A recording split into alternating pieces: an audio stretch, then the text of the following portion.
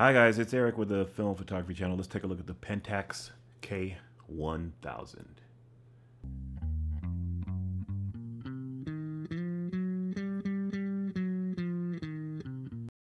So this is the K1000 and it was sold from 1976 through 1997. That's 21 years. It ties with the uh, Nikon F3 as one of the longest uh, selling film cameras of all time. This is why it's one of the most popular film cameras ever. In fact, it was named by Time Magazine as one of the top 100 gadgets of all time, regardless of camera or other gadget.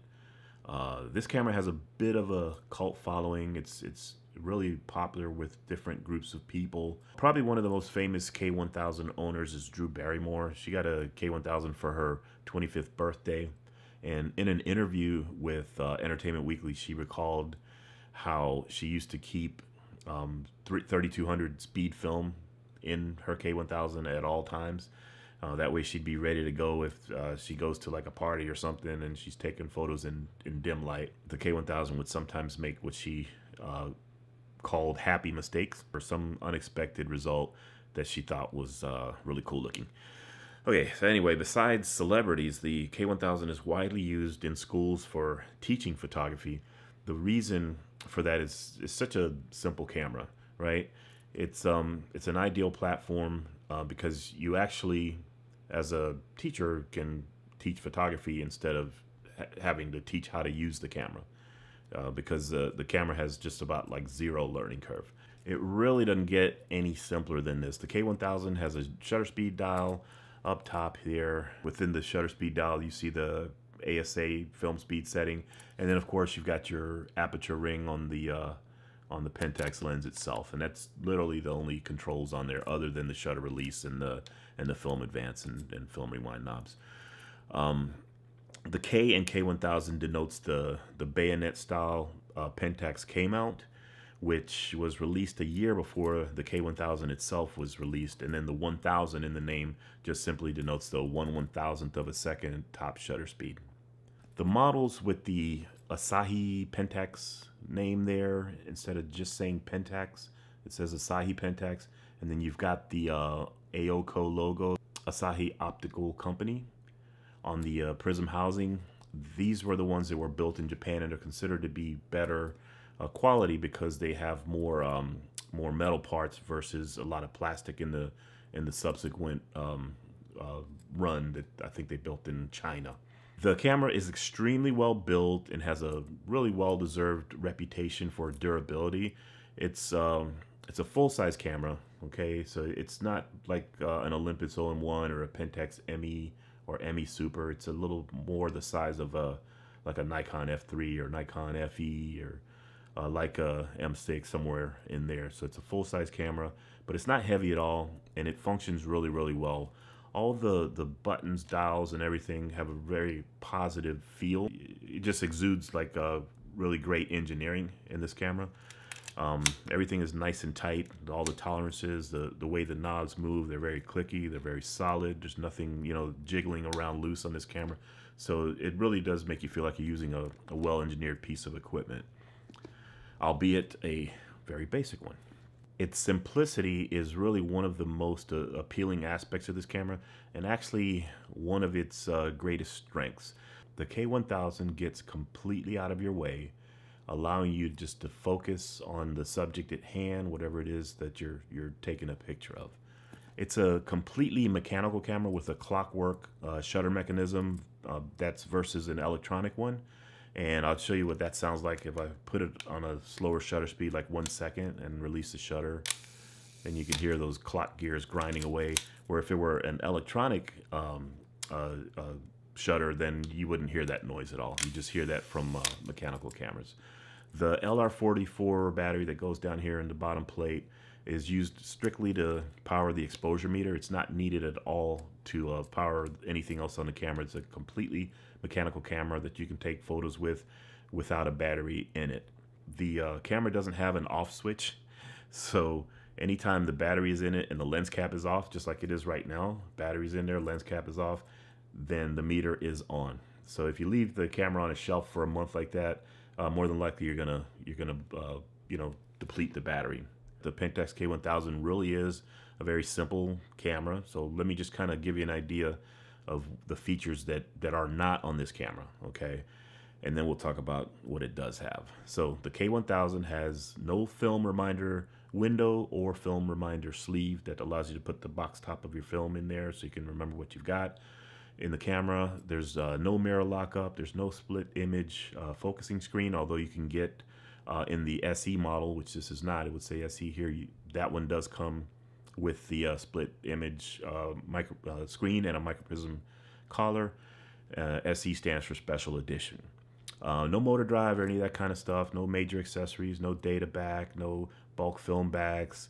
Um, like I said, it has no off switch. It has no self timer it has no shutter lock. It has no uh, ability to uh, create double exposures. No depth of field preview button or capability.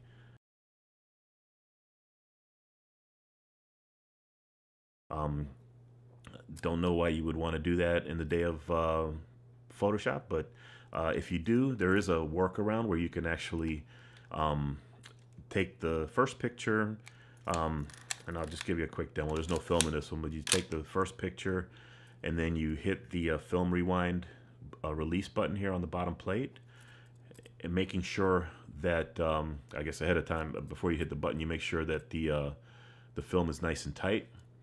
Then you take the second picture and make sure you've pressed the button at this point. Take the second picture, uh, and this time when you advance the film, or all you're really doing is cocking the shutter. The film won't advance it when this button is pressed. And then you can take the second photo and or you can forget all that and just use Photoshop and superimpose your pictures more properly.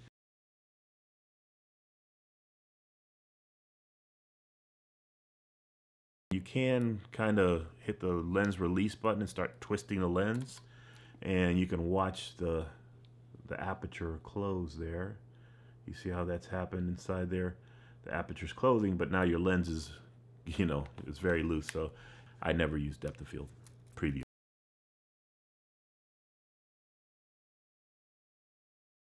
Okay, it does have a really nice viewfinder.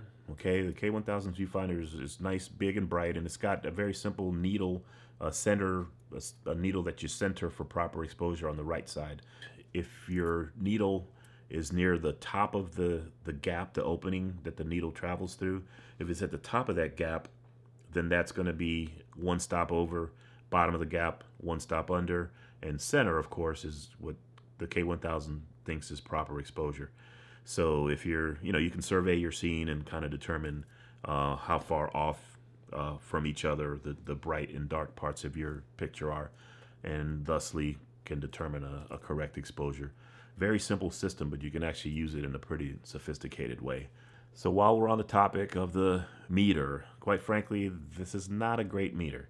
It's a center weighted system, uh, but it only has a sensitivity range from 3 to uh, 18 EV. That's uh, EV stands for exposure value.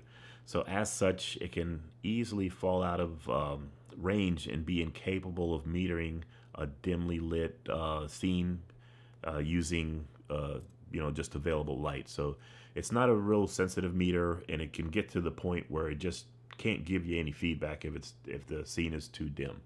And if you're using like a 50 or, I, or ISO 100 film, you run into the possibility where the camera just can't figure out the exposure. Especially, you know, not so much in the daylight, but more so in available light uh, when you're not using a, a flash. The K1000 has a reputation for overexposure, and my copy here certainly does that. Okay, this camera fully overexposes by about two stops um, pretty consistently. The shutter doesn't move as quickly as it did when it was new, and I guess none of us do, right? Um, but uh, for example, the the one one thousandth shutter speed here is probably closer to one five hundred, one five fifty, or something like that, and which obviously would cause it to overexpose and like I said, mine does it really consistently, so I can correct it by just uh, dialing in uh, two stops of ISO. So, for example, if I'm using a 400 speed film, instead of putting 400 on here, I'll put uh, 640, which is the notch between 400 and 800, and that'll give me a uh, perfect exposure. And truthfully, even when it was overexposing by two stops, um, it really wasn't a problem. You can just dial down the, the exposure in your scanning software and you're good to go. But if you want more accurate exposure, just you can just dial it in once you figure out how far uh, overexposed your your camera is, your your particular K1000 is. Okay, the film advance on this camera is a ratcheted type, and um, which means you can do like a double stroke. To check the battery on the K1000, you simply rotate the shutter speed dial to the bulb setting where you see the big green B, and uh, lift in and rotate the uh, uh, ASA dial to 100. Then look through the viewfinder, and you should see the the needle go all the way to the top if the battery has a good charge and it, it should go to the top and it should stay there. As you can see here, the K1000 has a little indicator next to the film advance uh, lever that uh, turns red when the shutter is cocked.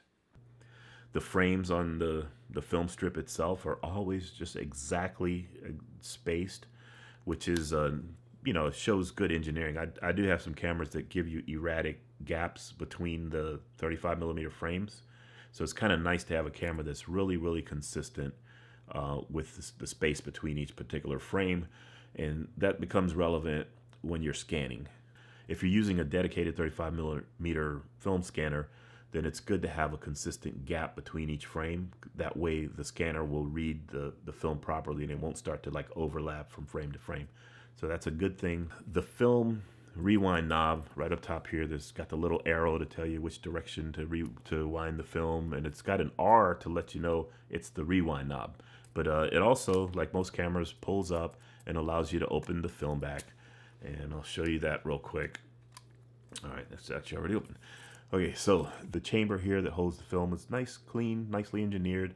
Um, Pentax uh, brilliantly used a tongue and groove uh, system. The film back here fits inside the groove on, on the back of the camera, sealing off the light perfectly and never really needing um, any kind of uh, uh, foam or anything, which inevitably always leads to light leaks. So it's good that this camera doesn't have foam, um, you know, backing here that would end up uh, possibly deteriorating and then leaking light into the film chamber. Along the top of the, the front edge of the focusing screen, there's a strip of foam that is simply in place to absorb the shock when the mirror uh, hits the top where it meets the focusing screen. And that little piece of uh, foam did start to deteriorate on this particular camera and on another Pentax that I've got as well, same thing.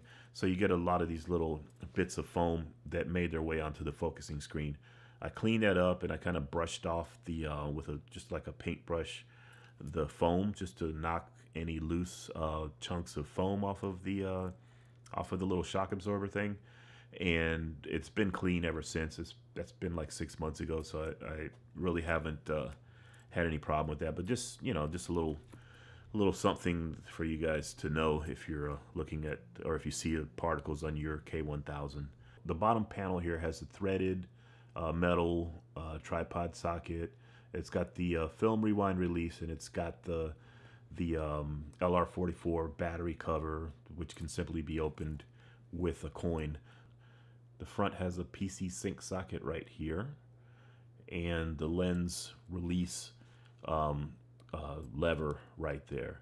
And to to put the lens on there or release the lens, you simply press in on that that lever and then twist to the left. And you can you can line up the red index with uh, the red dot right there on the camera. I mean, it's a it's a lot easier just to, to line up that white dot, the white bump with the with the lens release lever, lens release button. The K1000 is compatible with pretty much any K-mount lens. Um, they they come in a couple different flavors. The uh, the Pentax M, which is this is actually one of it's a it's a smaller lens that is well suited for uh, for this or for like the Pentax uh, ME or ME Super. Those were really compact uh, cameras, much smaller than, than this one. But it, uh, this particular lens looks great on this camera as well. Uh, the Pentax A lenses have a locking aperture ring with the little A at the end and a little button that just locks um, the aperture ring for, for uh, Pentax cameras that uh, have shutter priority or program modes uh, that you know that control the aperture ring electronically. So you need to kind of lock it in place. Um, but they're all compatible with the K1000. Even the autofocusing ones are compatible. Uh, rule of thumb really is any K-mount lens that has a um, an aperture ring, locking or otherwise, can be used with this camera. Uh, Pentax makes some of the, the best glass um, ever, really. They're you know, every bit as good as Nikon, Olympus, Canon, uh, you name it. They make some superb lenses. Uh, this 50 millimeter f1.4, uh, it, it's officially it's the um, SMC Pentax M 50 millimeter 1.4, and uh, this is one of the best 50 millimeter uh, prime lenses I've ever used. It's a nice, bright, wide open f1.4. It's got perfect bokeh. The uh, out of focus uh, like light points that, that show up as little like balls basically in the in the background are absolutely perfect. Um, they don't have like that strong ring around them, which kind of makes uh, the the bokeh a little more unpleasant. This one has nice wide open bokeh. It's soft all the way through. It's probably also one of the sharpest, maybe with the exception of uh, the Summicron. The lenses alone are reason enough to pick up a K1000. So the K1000 is not only a great camera for students, but also for someone who's maybe contemplating getting into film photography, or even for a, a seasoned film photo enthusiast such as myself. Um, and you know, or anybody that enjoys a nice, uh, easy to use camera and, and, really just wants to focus more on photography than than you know messing around with buttons, dials, and switches and menus and so forth. Um, now, it is true that this camera would still be a very simple camera if Pentax would have bothered to put a self timer uh, on here. And given that this camera was probably owned by a lot of folks that would very likely be taking group photos or family photos and want to include themselves in there, it would have been nice if they did that. They didn't. You know, so it goes. All that being said, I thoroughly enjoyed using uh, this camera. I have confidence that the photos will look great, uh, of course, due to these great lenses. And the camera is just so so simple to use. It's not a perfect camera of course i mean which one is uh, but it has plenty of appeal to a lot of people myself included. I, I, really didn't think i'd like this camera as much as i do. I've had it less than a year. Um, but it's probably why it's uh, it's been so durable in the market and why it's been sold for such a long time because it's just a really basic really usable design and that's really a, a big part of the uh, appeal Anyway, guys, thanks so much for stopping by. Please like, subscribe if you haven't already, and click on that bell icon so you'll know when I upload a video. This is Eric with the Film Photography Channel. Go out and get the Pentax K1000.